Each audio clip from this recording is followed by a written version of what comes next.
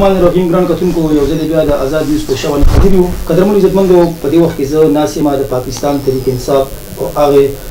شخصیت سره کوم چې یو ډیر د پاکستان تحریک انصاف لپاره چې کوم ډیر جدوجهد کړی ډیر کوششونه هغوی کړي کله چې هغوی په ملیشیا کې وو د پاکستان نه بهر وو په هغه ټیم کې هم هغوی ډیر سپورټ کړی د پاکستان تحریک انصاف لپاره د ایم پي ای ملک شوکت صیب چې کوم وخت کې الیکشن وو د دوه هزار اټاره په هغې کې هم د هغوی یو نمایه رول وو او هغه خپل هغوی ادا کړی وو.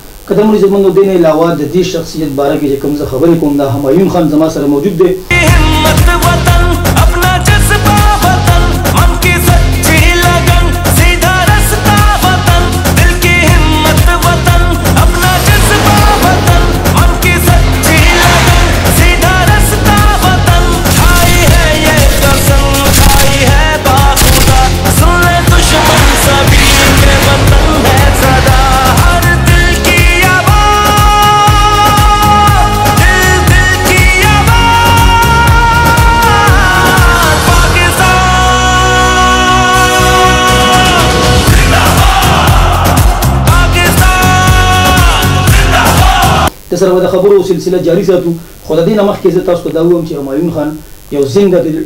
ټایګر دی، د پاکستان تحریک انصاف یو چمکتا هوا ستاره ده او د راروان وخت لپاره دا موږ ته د مستقبل یو ډېر دروند او یو ډېر ښه شخصیت ښکاري چې دی به په خپل راروان وخت کې چې کوم دی د پاکستان تحریک انصاف په دغې لړۍ کې چې کوم دی خپل ځان راوباسي او ډېر په ښکلي انداز به چې کوم دی دی د خپل ملک او د خپلې علاقې خدمت کوي. د ټول نه مخکې موږ تاسو ته همایون خان هرکلی وایو. پس تر هغې نه موږ تاسو نه وړمبی سوال دا کوو چې له پاکستان تحریک انصاف سره ستاسو شوق څنګه راغی؟ ډیره مهرباني ملک سلطان بهي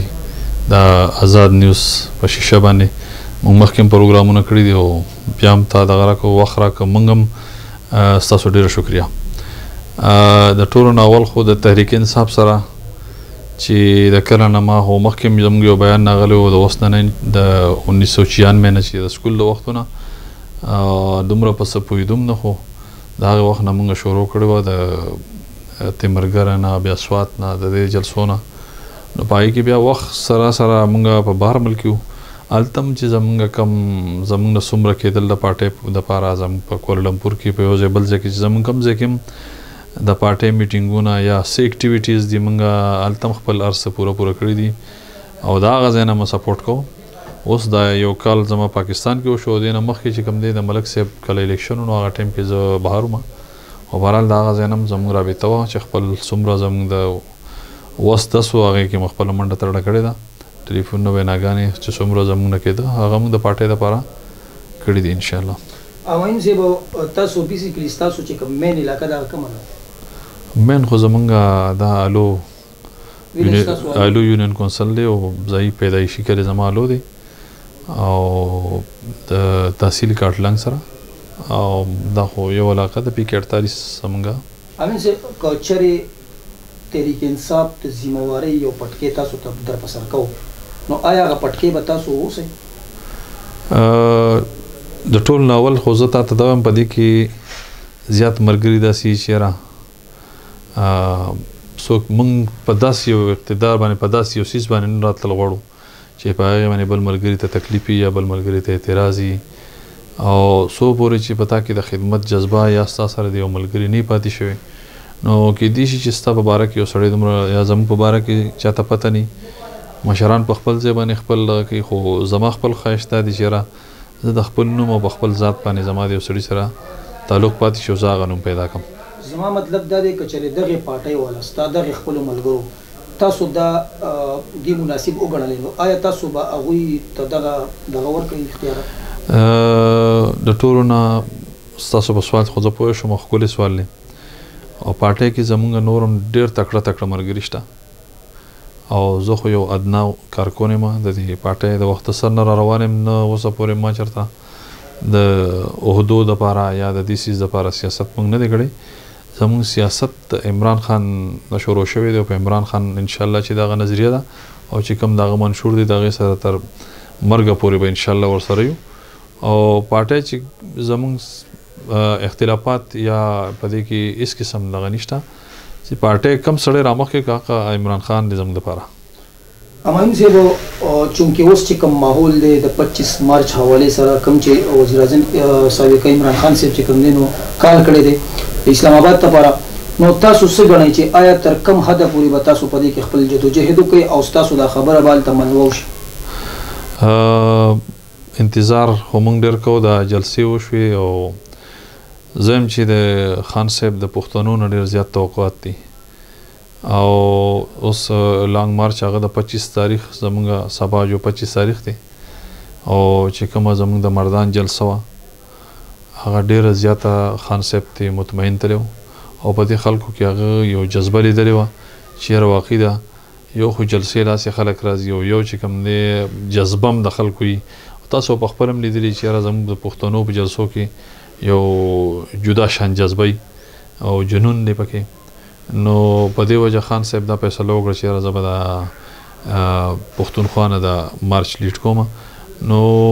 خبرېږو چې یاره کنټینرې دي او څه څه دي په دې لارو کې هغوی ایښودي دي دا ټک او د موټروی چې کوم صورتحال دی او په پنجاب کې او په کراچۍ کې چې کوم کورونو باندې چاپې هم لګي نو دا یو د دین ازادي د زمونږ د مرچ اصل کې د داسې قسم خلکو نه چې هغه د جمهوریت او اصل جمهوریت چې کوم دی د هغې نه هټ کې یو کار کوي نو موږ د داسې خلکو نه یو دا ټول 60% کابینټ چې ستا کوم دی یو خو ټول بندربان شوی دی ټول دنیا په دې پوهه ده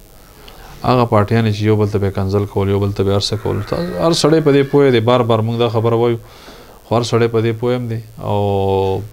هغه خلک راغلي دي او ټول يو ځای شوي دي حکومت يې جوړ کړی دی نو چې دا حکومت جوړ کړی اخر دا بنانا ريپبلک دی نو دا څنګه يو سيستم دی چې بهي داسې سړی راځه او په يو سازش باندې راځه او يو اليکټريټ وزير اعظم لر کوه او هغه دغه کوه کنه سي ان ان باندې هم عمران خان صاحب چې کوم دی هغه ډير کولاو انټرويو بل ورځ ورکړې ده نو موږ خو د خپلې علاقې د خپل وس مطابق چې زموږ نه څومره کېږي ان شاء الله